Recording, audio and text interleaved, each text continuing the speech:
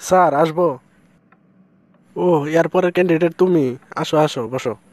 আমি আপনার কটা প্রশ্ন করব? প্রশ্ন কটা সঠিক উত্তর দিতে পারলে আপনার চাকরি কনফার্ম আচ্ছা প্রশ্ন করেন। প্রথম, দিল্লি ছিল, কে ডাক দিয়েছিল? স্যার, নেতাজি সুভাষচন্দ্র বোস। বাহ বাহ, খুব ভালো। আচ্ছা একজন দেশপ্রেমিকের নাম বলো তো। স্যার, অনেকে তো আছেন, যেমন মহাত্মা গান্ধী। বাহ বাহ, খুব সুন্দর। আচ্ছা বলো তো, ভারত কবে স্বাধীন হয়েছিল? স্যার, ভারত উনিশশো বিয়াল্লিশ সালে স্বাধীন হব হব করে, শেষে উনিশশো সাতচল্লিশ সালে পনেরো আগস্টে স্বাধীন হয়। খুব সুন্দর। আচ্ছা এবার লাস্ট প্রশ্ন। বলো তো, আকাশে কতগুলো তারা আছে?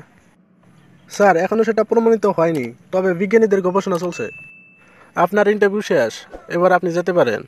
এরপরে তো স্যারে আমাকে ডাকবে, আমি তো ভালো করে বাংলা ভাষা বলতে পারি না। স্যারে প্রশ্ন করলে আমি কি উত্তর দেব?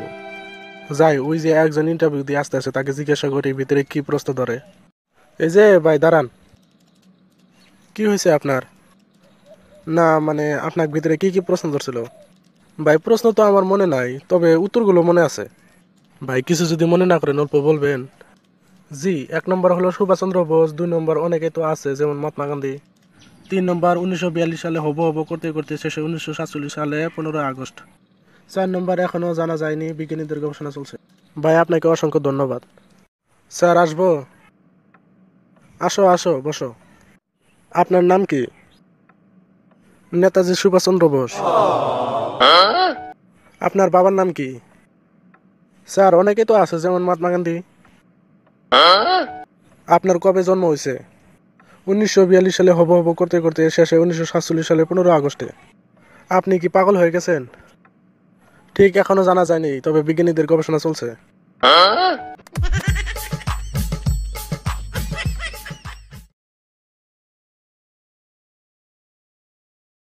আচ্ছা স্যার আসব।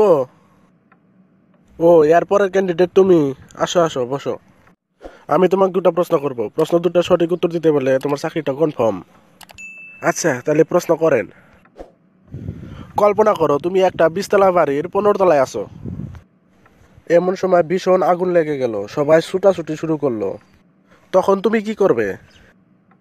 এত কঠিন প্রশ্ন, আমার তো ভাইবে চিন্তা জবাব দেওয়া লাগবো। হ্যাঁ পাইছি। স্যার, আমি কল্পনা করা বন্ধ করে দেব।